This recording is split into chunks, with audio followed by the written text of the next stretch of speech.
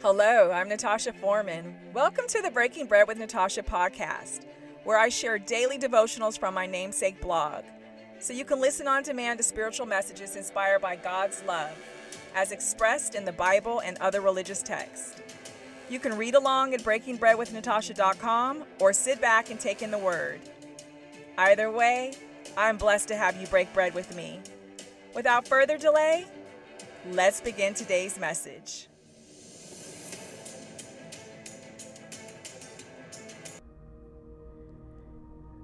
Hello, Breaking Bread family. Thank you for joining me. This is Natasha Foreman. Welcome. I want us to focus our attention on the book of Proverbs, chapter 31, and we're going to look at line 30. The translation that I'm reading says, Charm is deceptive and beauty is fleeting, but a woman who fears the Lord is to be praised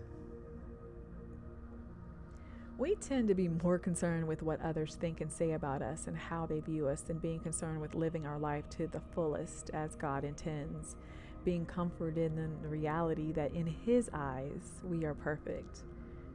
We're obsessed with the approval of the creations, yet conditionally concerned about the Creator's approval. God is focused on the matters of our hearts, not how sexy or charming you are or can be. That is the flesh acting out, the tempting lure of the enemy. It can be said that to seduce someone means you have the ability to manipulate, control, and play mental games. Can you see how that skill can be perverted? When done for selfish gains and just to please the flesh, ask yourself if that sounds like alignment with our Heavenly Father or with the Father of lies. Yeah.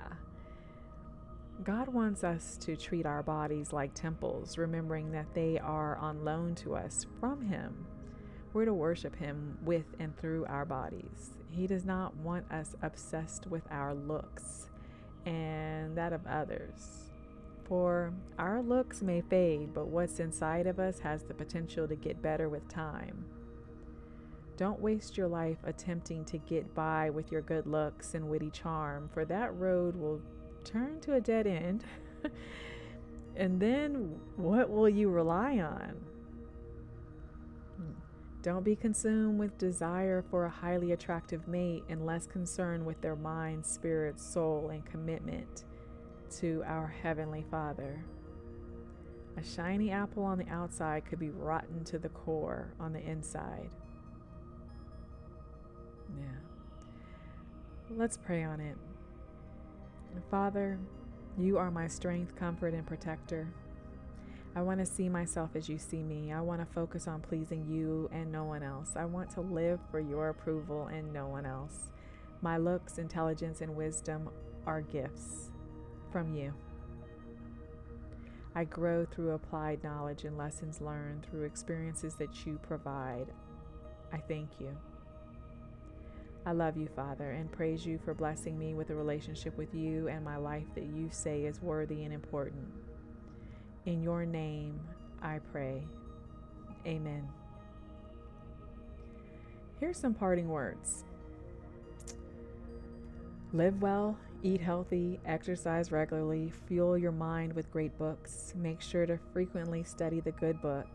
Treat others with respect and dignity. Take care of yourself.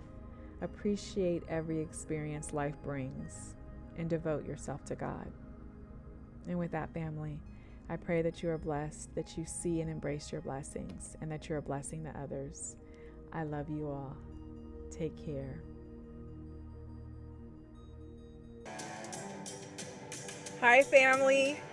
If what I shared in today's message resonates with you, I hope you will share it with others.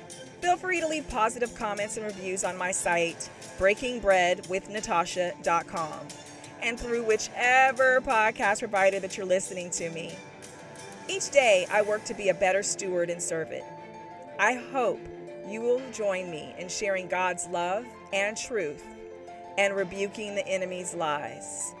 Now go out there and make today an awesome day. I love you all.